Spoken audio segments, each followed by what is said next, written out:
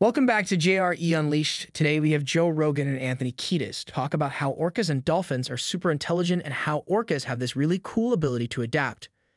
They discuss how unique orcas are in respect of culture and language within their respective pods. This is not really seen anywhere else in the animal kingdom. Research has shown that they do have a sort of language, and that they even have names that they call each other. There was a very controversial study done back in the day that was trying to teach dolphins English. Orcas off the coast of San Francisco knows how to kill great white sharks by immobilizing them on their backs and holding them until they effectively drown. They are next level intelligent.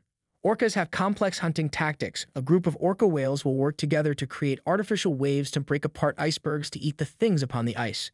Planning, organizing, and carrying out actions. Let's get right into the interview with Joe Rogan and Anthony Kiedis. Don't forget to hit the like button and subscribe to the channel to be updated on all our future content. Thanks, and enjoy the video. Pacific, you have the white whale, Actually white. pure white. Wow. Oh, that's different right. than this, or- Belugas. Yeah, they're pretty Uh, white. Belugas are white, but there's also uh, like an albino humpback, perhaps, Let me cruising the coast of Australia somewhere. oh, like a very, very rare Rare. version of it. yeah. yeah. There we go. Yeah. Whoa. We went uh, whale sighting in Hawaii. Uh, I forget what time of the year it was. I want to say it's like around now. When is the when are the whales there? But anyway, you uh, you go out on a boat and uh, you just go out into the ocean. And they just look for them in the distance and get close to them, and you get to watch them breach, and they just fly through the water and just. It's incredible. You can't even. I mean, you know they're big, but until you actually see them in real life, like it doesn't sort of compute. And strong. Oh my god! And majestic, like intelligent, bizarre Beyond. mammals Yes. that live in the ocean. That for some reason don't have hands and can't build stuff. Yeah. Yeah. Yeah. Which is maybe a, a blessing for them. And they talk. And sing Yeah. and love. Yeah. And yeah. I had a day of surfing with a, a mother and her calf. Whoa. where I live in Malibu. And it was a great wave day, just epically beautiful, clear, perfectly shaped waves. But then we had a, a humpback and her kid on the sandbar because they like to rub their bellies on the sandbar.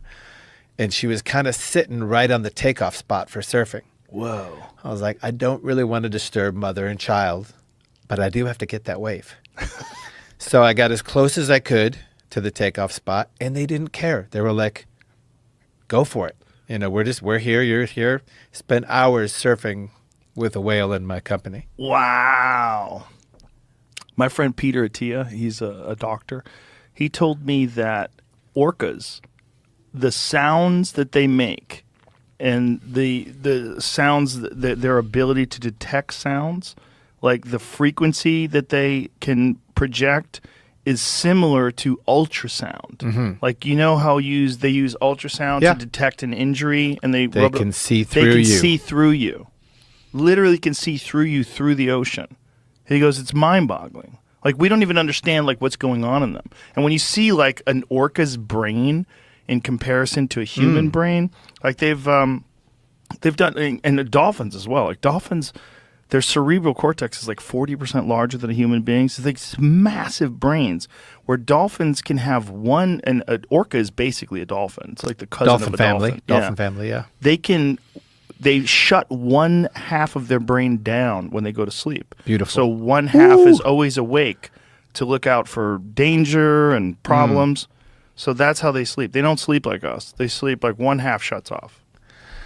Joe Rogan explains on how dolphins are some of the most intelligent marine mammals in the world. These animals belong to the family Delphinidae and are known for their exceptional cognitive abilities. Research has shown that they have highly developed brains with complex social structures, communication skills, and problem solving abilities. They use a variety of vocalizations, body language, and echolocation to communicate with one another, and they have been observed exhibiting empathy, self awareness, and problem solving abilities. Orca is my guy. They're amazing, man. That that's what's on my back. oh, really? Yes. Yeah. Only killed people in captivity. Uh, that's, as long as we're me see it. showing ink. That- Oh, yeah. So that face in the middle is the the Haida. interpretation of the orca. Ah. Yeah, they don't kill people, Only in captivity when they're which getting, is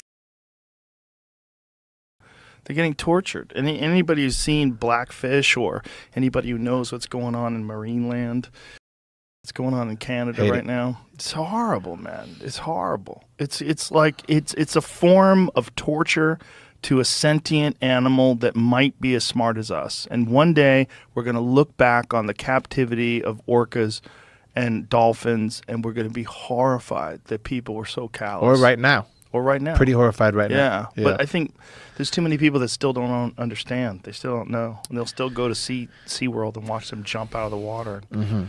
It's crazy. and they're very family. yeah, They're all about their pod. right. Which is why it's so sick that they take them from their pod and put them in a swimming pool.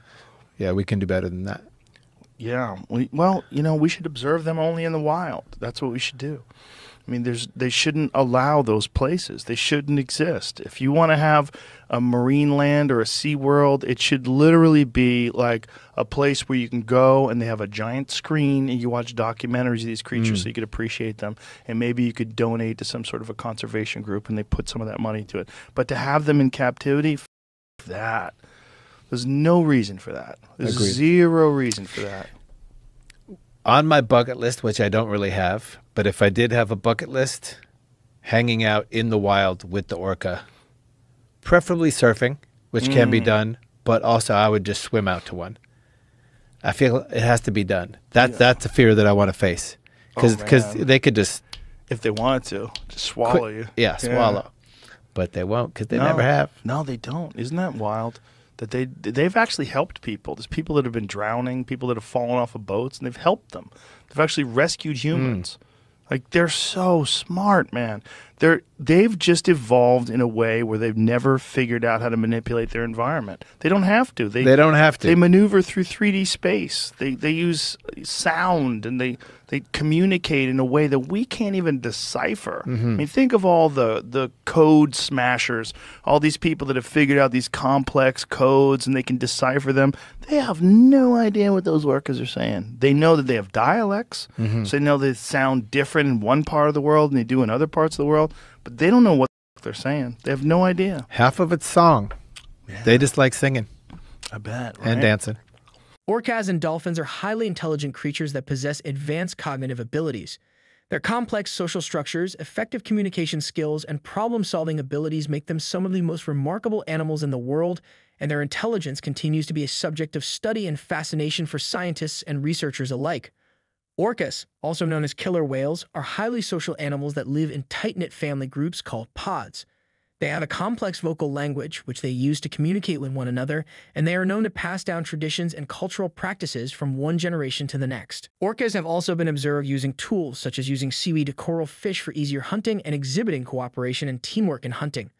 Dolphins are also highly social animals living in tight knit groups or pods, and they have been observed exhibiting cooperative behavior in hunting and other activities. Additionally, dolphins have been observed exhibiting behaviors that suggest a deep emotional connection to their pod members and an ability to grieve for their loss. Make sure to check out the full episode with Joe Rogan and Anthony Kiedis by heading over to Spotify. Don't forget to hit the like button and subscribe to the channel to be updated on all our future content. Thanks, and we'll see you in the next video.